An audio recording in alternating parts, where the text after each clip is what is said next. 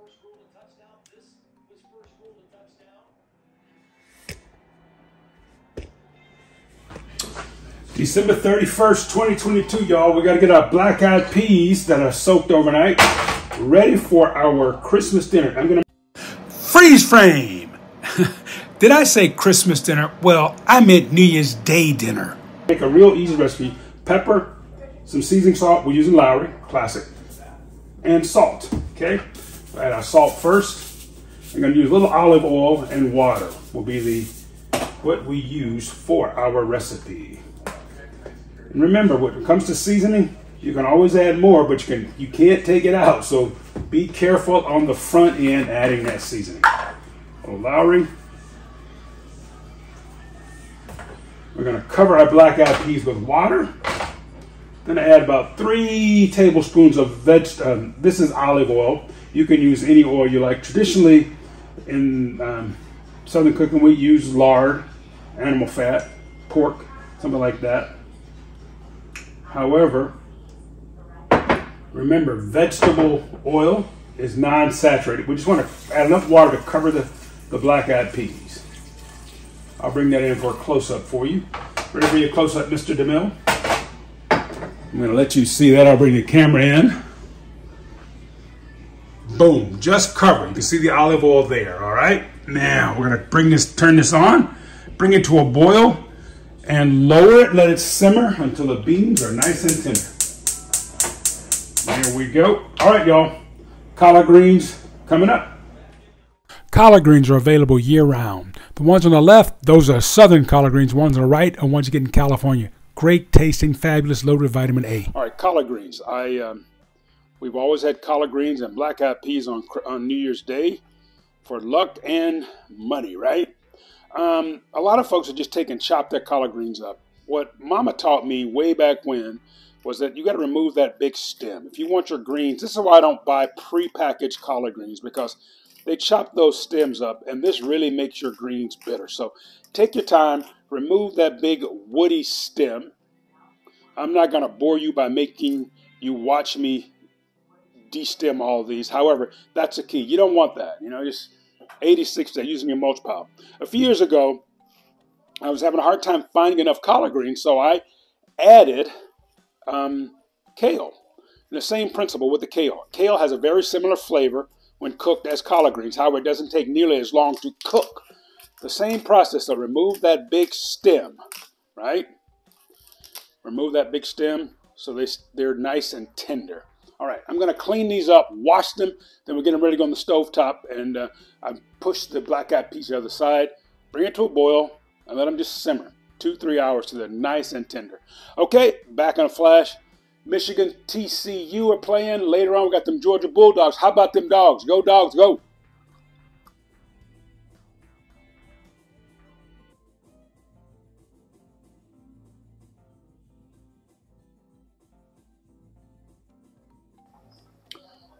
The black eyed peas have started to boil, and I'm going to let them rapidly boil for about five to 10 minutes.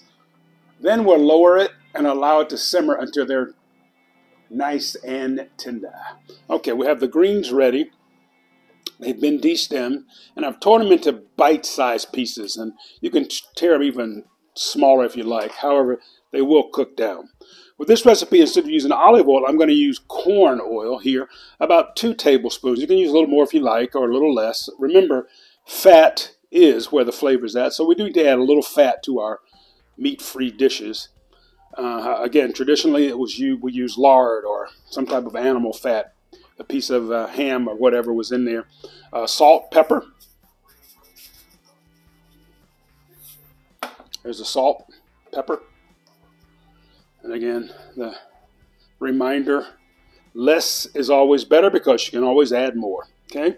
Now, I started a few years ago adding green pepper, bell pepper to mine. If you like them hot, go ahead and use a hotter pepper. And I'm going to use some diced, well, some chopped onion I had uh, left over from, I think another dish we made a couple days ago, Lisa made. Um, and instead of using onion seasoning or onion salt, we'll just use fresh onion there top it with some agwa. And again, you can use any fresh herbs and that you like or dried herbs. Again, we're not going to cover these like we did with the um, with the black eyed peas. Just enough water because when the collards cook, they will release a lot of liquid as well. I will be placing a lid on top of this one. Again, we'll let it cook down to they're nice and tender. Then we'll check for flavoring, and that's pretty much it. Uh, let's go watch some football. Michigan is having a got their hands full right now with TCU. 14-3 Horned Frogs. The black eyed peas and the collard greens are a cooking. the house smells good. Watching um, Michigan and TCU right now, getting ready for those Georgia Bulldogs taking on those Ohio State Buckeyes. Um, we've talked a lot about this first quarter of the new year. I'm taking a uh, master gardener gardening course, and um, so we're going to get started today. This is the last day of the new year, of the old year, I should say. Um, and here's my, my booklet. And I've talked with you all in the past about how, or I've shared with you, my struggles with reading, not learning to read till age 26. And during the interview process, um, it was interesting when I was in the interview and answered all the questions that were asked of me. And uh, you know, i am at a point in my life now to where you know I'm I'm able to advocate for myself as well as others. And it was a very interesting point to me in the during the interview process when um, I was being asked about all the reading I'd have to do and so on and so forth. And um, so after that was over, I I said to the uh, people that was doing the interview, okay, so I have to share with you all that um, I can read. However, I didn't learn to read till I was 26. I'm a good reader. However, I'm a slow reader. And I said, what has been put in place to help those of us? Because I've realized and found out that it's more than just me being a slow reader in this country and around the world. Um, what have you put in place to help us? What scaffolding have you um, erected so that I can succeed? You're telling me about the difficulties. What have we done to make it so that it's an equitable situation for people like myself? Um, and I got some blank looks. So I said, Don't worry, y'all. I will figure this out for me, for Curtis George Aikens Sr. I'll figure this out. However, once I've figured it out, I hope we can put this in place for the next Curtis Aikens that comes along or the next slow reader that wants to be in this program. Um, learning, education, knowledge, all those things are true power. Because I'm not a fast reader, should I be shut out of that information um, vault? Let's open up that vault of learning for everyone. And I'm going to share with you um, an app that I found that I like. I'm not saying I'm in love with it yet. There are some flaws. Uh, and I looked at a lot of apps. I, I, I, went through, and the one that I'm using is called Speechify. Now, I'm going to reset the camera so I can show you this and show you how it works. Um, because my first week, for the first week's homework, comes from this book, California Master Gardener Handbook. And we are to read the first 19 chapters. And that takes us to about this point in the book, right? a lot of pages for a slow reader. Um, and it, it's interesting when you're reading for fun, it just jumps at you, right? When we are when we're reading or when I'm reading for knowledge, it's a slower process, right? So what I've discovered and learned is when I'm listening to the text. It helps my eyes move across the text quicker. It helps me because I'm hearing it as well as seeing it. My comprehension goes up. So I want to share this with you. And then I also want to share this with as many school teachers as possible. This, this app called Speechify. There's a free version that I've been using the, for the last two or three weeks because I want to critique the free version so that if you or someone you know can't afford it, we can still work with the free version. You can still work with the free version. They can still work with the free version. I think this this technology and and and thank people like Tim Tim Cook at Apple or you know Steve Jobs who created the company. The, the things that I love my Apple device because I can highlight the text no matter what it is and it will read it to me. And again, it helps me to to to see the text, hear the text, comprehend the text. Okay, that's one of the great things about these these these um, what is it called um, IA. Um, I forget what IA stands for. Something into artificial. What's the IA stand for, baby? Or is it AI? Artificial intelligence. Artif- thank you very much. Artificial intelligence. Um, so anyway, um, I'm, I'm, I'm rambling here. However, it's something I really want to share with moms and dads and teachers and, and people who are having that student that's struggling with their reading. It's okay to have a read along because for me, it's helped me comp- comprehend this stuff so much better. 19 pages of some very interesting stuff, you know, because I love to garden and I'm learning things. I, I told Lisa before I took this class, that, you know, I'm going to be having to take this course to get a credential for something that I, I probably know as much as anyone who's going to be in the course.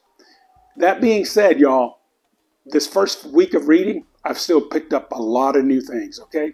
All right. Let me reset the camera, show you the Speechify, and then we'll start setting up this uh, this first quarter of the year. The first, you know, four months of the show are going to be about this class. I'm going to share with you what I learned, and we're going to go to work. Peace. Back in a second with this Speechify app.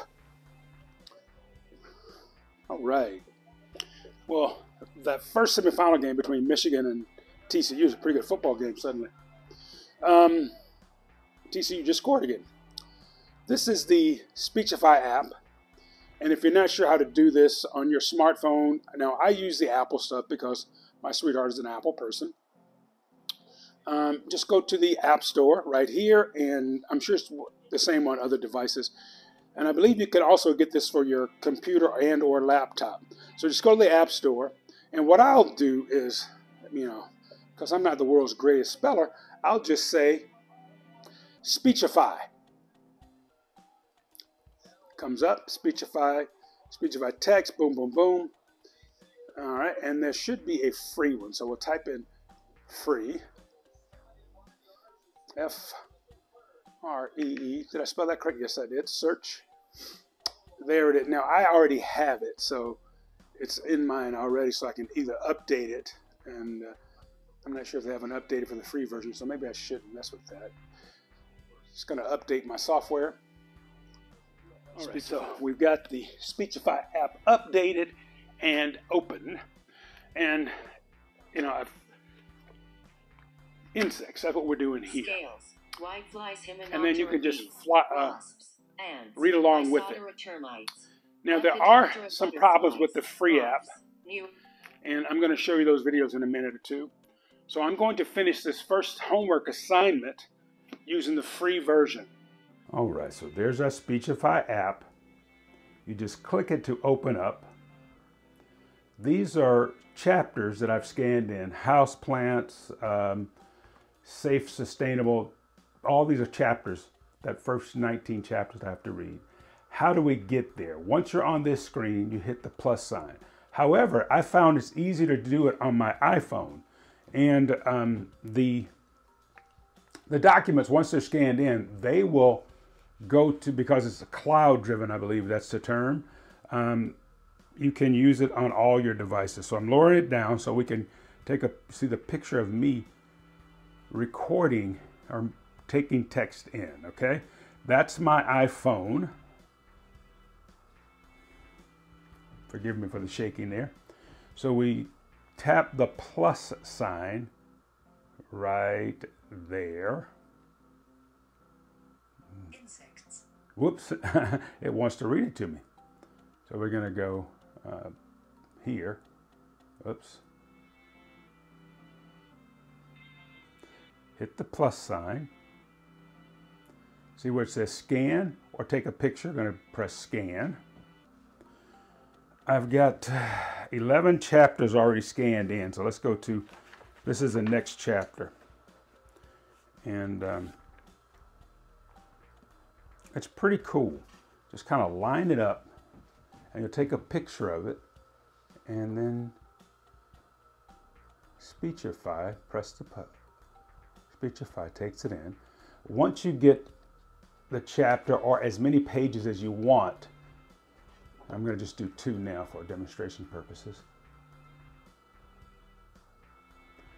Press the ahead button.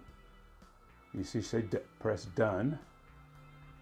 Now it is formulating the, the picture Woody into readable text. There we go. Selection of landscape plants 304 selecting plants in the nursery 308. Planting 300. Just pause it there. Okay?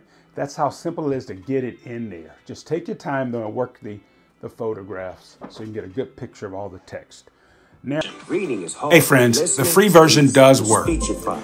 However, every 15 or 20 minutes, there's an advertisement trying to get us to upgrade to the premium version. There seems to be some benefits, free unlimited storage, stuff like that. Um, however, every 15 minutes, Snoop, I love you, bruh, but don't jump in every 15 minutes. Make it like once an hour. Peace out. The Speechify app, I do recommend it. The free version has some bugs in it. However, be patient, you can work through it. I did. I'm going to be upgrading to the premium version to see if it's worth it. Remember, knowledge is power. Learning is a way to get that knowledge. Reading helps us in that learning process. So if apps like Speechify help me, I'm going to go for it. Moms, dads, teachers, let's do whatever we can to help kids get that knowledge. Okay, y'all, I've got some reading to do because I want to get that knowledge. Spread love. Curtis, and welcome to the show. Today I'm in Petaluma, California, at a beautiful spot. This is called um, Petaluma Bounty Farm. One. The Bounty Farm at the Stonich site, an educational farm dedicated to sustainable agriculture and healthy Petaluma food system. This land was generously donated to Petaluma Bounty for five years by Gottfried Stonich and family, and we are extremely grateful. Welcome to the Bounty Farm. Uh, and I look forward to sharing this place and the wonderful human beings that work here uh, on this episode and hopefully in future episodes of the Curtis Aiken Show.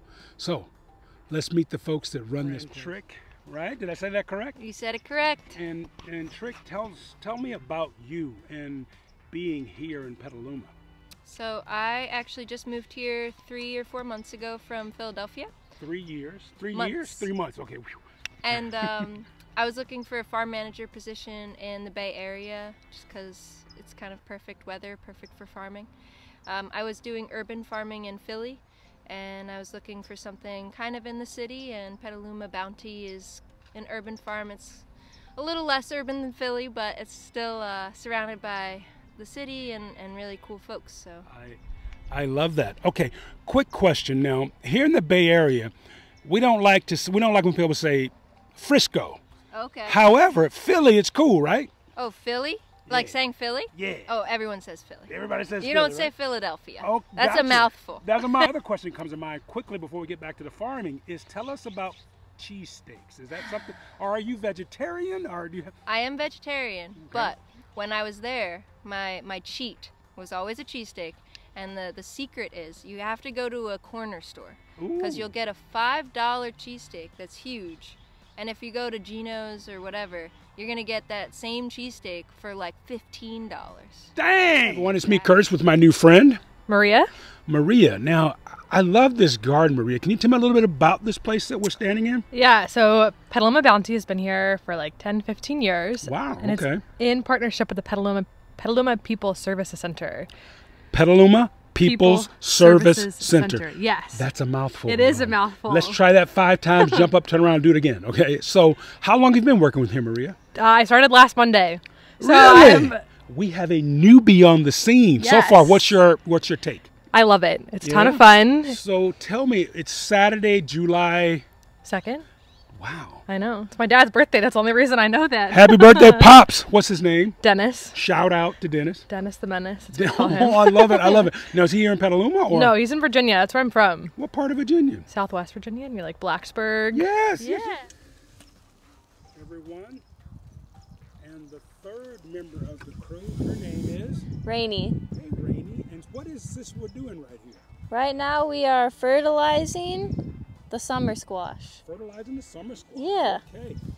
I will talk with you a little later, okay, Rainy? nice to meet you. Thank you. They need volunteers. They need weed suppressants. So this straw that I'm sitting on, um, a good friend of mine donated it, and um, I'm so proud of them. So, um, if you want to help your community, help those who are less fortunate than we, think about checking out the Petaluma Bounty Farm. Um, PetalumaBounty.com. They're also on um, Facebook, Instagram. Did I say .com? It's .org. PetalumaBounty.org, O-R-G. And if you like seeing butterflies, there are a lot of them around here. All right, y'all, let's get to the show. Gonna meet these incredible human beings that work this farm. Peace, spread love. Alright, Petalumians, we are setting out our drip tape. So with each row we're putting two lines. We're to plant peppers here and you can do two peppers on either side of the row all the way down. And I'm just making sure that they're nice and straight and that they're not going to pop up. Um, luckily these are new pieces of drip tape so you don't have to worry too much about holes, which is a pleasure, but we do reuse our drip tape. This is just the field we said. These four or five beds will be peppers and then eggplant and then um, maybe potatoes. I haven't figured it out yet. Um, but we got one bed done. Um, so we have one field, two fields, and three fields left to go after that. So we could use your help.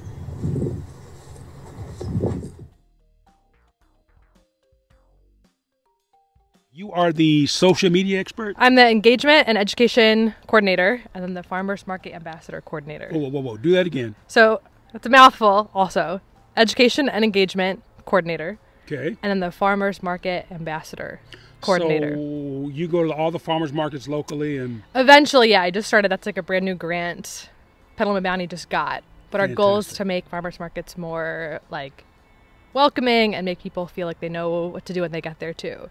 So we're gonna be in charge of hiring some ambassadors. That's jobs are to like welcome people, help them navigate, and if they have like CalFresh or uh, what do you call them, food stamps, yes. to know how to use those and make sure farmers all know how to accept them, so that It's called EBT now. right? Yes, that's what it is. There's, like, we, six we names kind of changed that name. I'm I'm I'm big into not shaming anyone. Mhm, you know? exactly. So the idea is that that beautiful EBT card is just like a credit card. You use it, you know. So it's we got to feed folks. exactly. So welcome to town. Um, now I'm going to meet some folks out. Today Yeah. is Saturday, Volunteer Day, right? Exactly. So we're going to send this big shout out again to bir- Happy Birthday, Dennis the Menace, back in VA. yes, Yeah. still in Virginia. Um, so tell me what we're looking for at not only as an engagement when we want people to come to the farm. What Mm-hmm. do we need to grow the bounty? a lot of hands, a lot of that. patience, and a lot of time. Okay. So like right now we're doing, especially because it's Saturday, so it's market day. So Oh. we go to the Petaluma Farmers Market from two to five. So Saturday is your big harvest day. So we did harvested strawberries, garlic. Sorry, to think what's back there. Zucchini, peaches.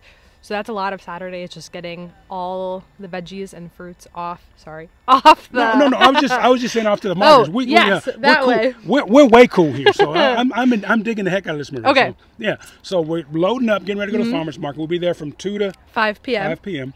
So, well, be too late to get you to come out today, but, But come out next- next Saturday and the Saturday after that. And I'll give our we have a push. We have our on farm market starting July 13th on Wednesdays 3 to 6 p.m. Love so you it. can come here and get your veggies and also peek at the actual farm and kind of take a stroll around. and put some hands to work. We need help exactly, pulling we weeds. do. Weeds, that's like the biggest thing right now. It's just endless leading, which now that we have straw, we'll have time for other things too. Fantastic. All right, y'all. Everybody, this is Marie. Check her out on the website, Instagram, what all Yeah. the stuff we want to go to. All the things. Can you give us the uh, sites? um, if you like- Google Petaluma Bounty, the website will pop up. I'll find them and I'll drop them in the um, in the captures. Okay, y'all. Marie, I'm going to meet some more great folks at the Bounty. High five it. And I like to end my segments, but spread love. It's always about spreading love. Okay. So Say spread love. spread love. That's it. Boom Love it. shakalaka. Thank you. Thank you. Great job. Beautiful farm. Uh, part of it is just that it's beautiful. Um, I love getting in the dirt and doing things that clear my mind, and gardening is one of those things. It's very therapeutic. Um, and I love the idea of producing food for people that need it and um, meeting some great people out here. Some young people gives me give me energy, so here I am. I love it. So, do you live here in Petaluma? I live here part time. Um, I come. I actually my main home is in Half Moon Bay, on the coast. So that's another reason I actually get some sunshine out here during the summer, which I can't not get on the coast. So it's it's just wonderful. It provides everything. Uh, Julie, I, as a, I'm getting a little emotional thinking about what you just said, okay? uh, because I'm a bleeding heart as well. You know, if it's okay to say that to you. Sure. Um, so how, like, we're going to ask folks to come join us out here. What would you say to someone? Why? How? Let's encourage folks to come volunteer to help at this beautiful farm. Um, I would say that if um, that for me? oh, um, I would say that to encourage other people to come and work at this beautiful farm out here, Petaluma Bounty, um, is if you have a passion for wanting to help your community, but you also don't want to be sitting behind a computer or a desk, and you want to get your your your your fingers dirty, your fingernails dirty, and you don't mind doing that, um, that this is a perfect opportunity because you have a wonderful support staff here. You have a wonderful farmer and Trick that guides you and, and, and Trick staff as well. And it is just a wonderful way to give back to the community, is with food, with providing sustenance and nutrition. I love it. Thank you so much. You're very welcome, Curtis. Thank you for asking. Sunflowers cause me to smile. So does Rainey, the farm assistant at Petaluma Bounty. Listen to some more of her story. Hi, I'm Rainey. I'm the new farm assistant for Petaluma Bounty. I got here on Friday, started working, went to the farmer's market on Saturday. I want to learn more about food sustainability and how to grow healthy food so to make healthy people. I am also a registered nurse and I've seen how food can affect people's health and I want to be part of the change to prevent uh, chronic illnesses. My favorite food is my mom's homemade lentil soup And why? because it tastes really yummy and she makes it when I come home to So visit. Petaluma Bounty's mission uh, really resonates with my morals and is part of the reason that I'm here is that we try to feed our community. So our number one uh, goal here is to make fresh food accessible. Um, you know, a lot of cities, especially on the East Coast, there's no farms anywhere